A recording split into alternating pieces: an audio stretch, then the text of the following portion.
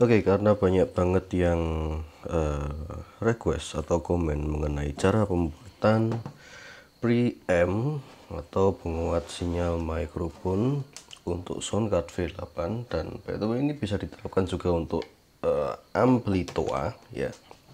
Ini bentuk preampnya. Dan ya sudah, saya akan respon melalui video ini yaitu cara merakit atau membuat preamp kamu sendiri.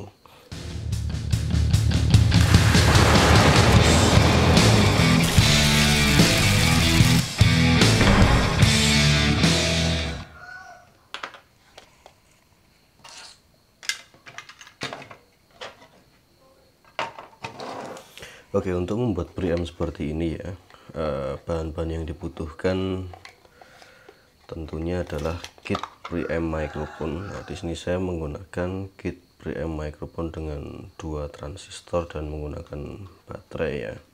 Baterai 9 volt. Oke, dan kit yang saya gunakan adalah kit yang seperti ini ya, preamp mic dua transistor ya. Nah, ada beberapa keuntungan menggunakan preamp mic seperti ini adalah ini bekerja di tegangan 9 volt ini sudah bisa jadi pakai baterai 9 volt bisa ya dan sudah ada potensionya nah teman-teman juga bisa menggunakan kit preamp yang lainnya. Selama itu bisa digunakan untuk uh, microphone dynamic contoh seperti ini. Ini juga sama kit preamp 2 transistor. Cuman ini yang tanpa potensio ya. Nah untuk yang tanpa potensio teman-teman perlu memperhatikan datasheetnya juga. Uh, jadi di datasheet atau keterangan yang tertera di datasheet ini kita membutuhkan potensi yang seperti apa. Kalau di sini tertulis yaitu adalah 50k maka kita juga harus menggunakan uh, potensio yang berukuran uh, 50k ya sesuai datasheetnya oke. okay nah terus eh, beberapa kabel ya untuk eh, merangkai kemudian juga konektor atau soket eh, AKE atau TS seperempat dan kemudian saklar on off. Saklar on off kemudian soket baterai dan juga knob dan untuk lampu opsional ini saya menggunakan LED untuk indikator hidup dan mati.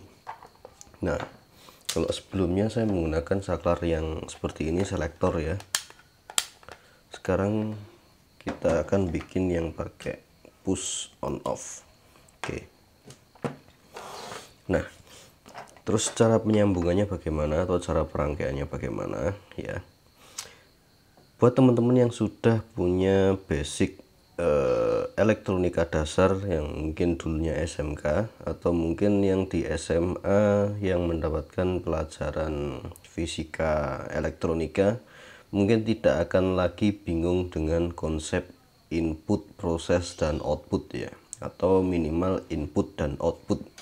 Nah ketika teman-teman sudah memahami konsep seperti itu saya yakin dengan melihat skemanya ini teman-teman sudah bisa mengetahui mana input mana output mana uh, yang harus disambungkan seperti itu.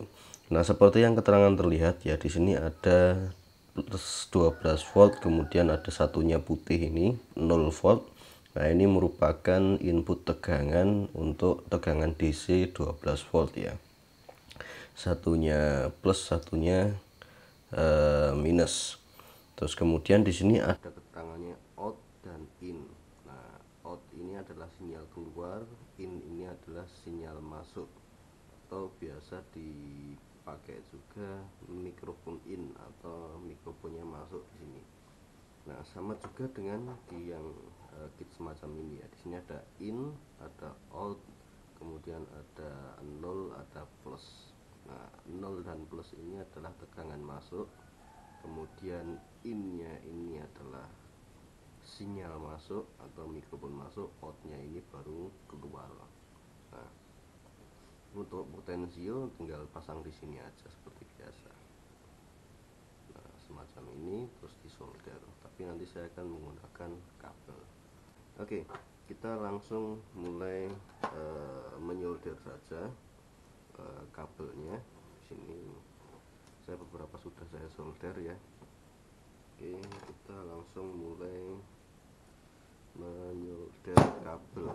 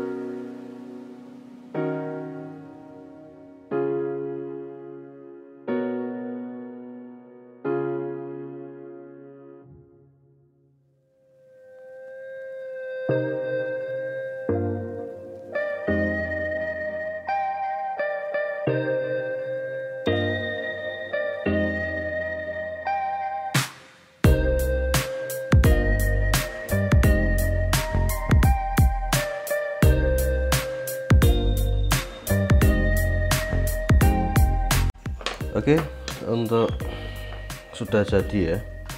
Ini kita tinggal uh, tutup atau kita tinggal sesuaikan aja.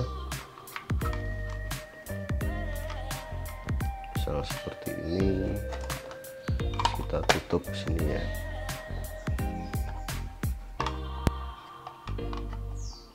Kita tutup sini. Nah, ini untuk input kemudian untuk output. Kok mirip anu ya untuk volume. Mirip pedal efek gitar. Nah, ini on off on off ya. Tinggal kasih merek aja di sini oke kita akan coba tes uh, sekarang ya dan hasilnya seperti apa